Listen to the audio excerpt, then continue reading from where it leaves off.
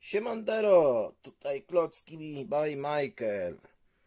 W dzisiejszym odcinku chciałbym Wam pokazać nasz styczniowy Lego Haul.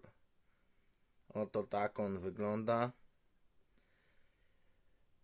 Mamy tutaj 9 zestawów,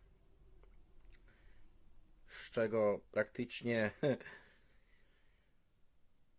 7 to są Star Warsy, nie?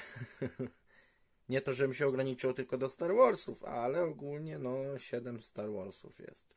No i, i tak to wygląda. Tutaj mamy dwa razy ten Battle Pack.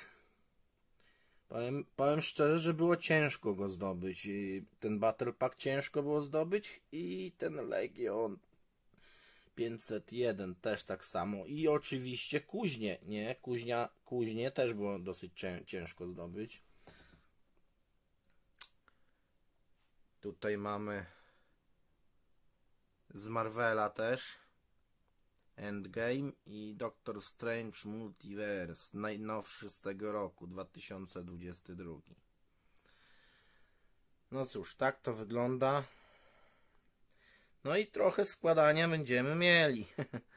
Będą na pewno yy, na kanale filmy z tego składania tych klocków. Więc do zobaczenia. A, jeszcze jedno. Pamiętajcie, zasubskrybujcie, dajcie łapkę w górę, no i dzwoneczek, żebyście widzieli, że będą nowe filmy na kanale. Trzymajcie się. Do zobaczenia.